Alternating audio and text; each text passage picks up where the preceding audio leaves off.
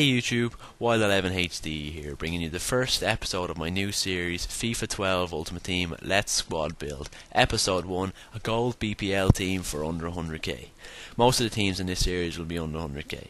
As you can see from my trade feed there, all the players that I bought yesterday for the price that I bought them for have sold for more. Therefore, my profit tip worked yet again. Now I'm going to start off showing you this team that I've built. The team came to a total of 94k, which I thought was very, very good, and I hope you enjoy it. In goals, I've gone for Joe Hart. As you can see from the video yesterday, I have great faith in him. 3.5k, and with in game stats and stats on card like that, you just can't go wrong. Left back, I've gone for the truly underrated John Arne Riise. His free kick stats, his defending stats, everything is just quality, and in game he's just brilliant. Uh, he cost me 500 coins, even though it doesn't say it there. Now I'm going to move on to my centre backs. Centre back one is Vincent Kompany, the Belgian superstar for City. He is so fast, he'll keep up with most attackers, and he'll definitely outpace defenders. 6,700, you can't go wrong. And his in game stats and on card stats are brilliant. The other centre back, I've gone for newly transferred Cahill, 442, and his stats are really, really good. 80 heading, or 80 defending, and 82 heading. And he only cost me 1 300 in my formation. Very good deal there.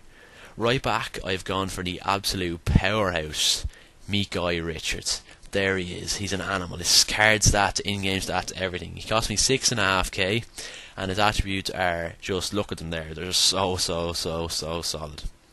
Left mid, I have gone for a player that will tear defences in half single-handedly. Ashley Young. His 93 pace can do bad things to defences, and 87 dribbling just means he can run right through them. He cost me 11k, which is quite a lot for non-informed points. I promise you that. Centre mid, I've gone for Scott Parker. I had him at the very start of Ultimate Team for 950 coins. It's a complete bargain. He's got very good pace for a CM. His passing and defending are really, really good, and I think he'll play alongside his partner very well.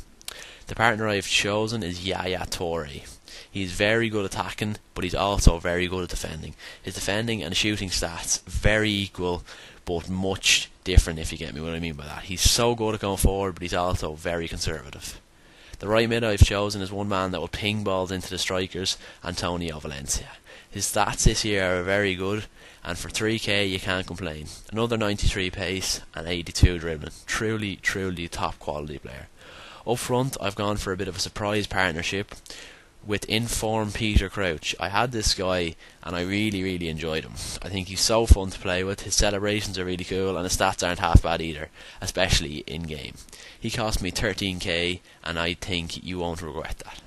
The other striker I have gone for is Luis Suarez. He is one of the e- easiest players to play with and he is truly brilliant.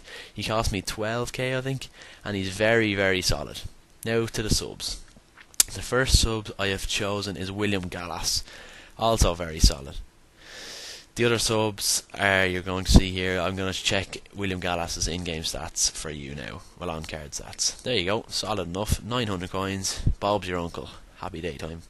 The next sub I have chosen is Matthew Etherington from Stoke. Left mid with 89 pace and for 1k it's such a bargain. Look at the stats 89 pace, 84 dribbling, and it's pretty sure his in game stats are just as impressive.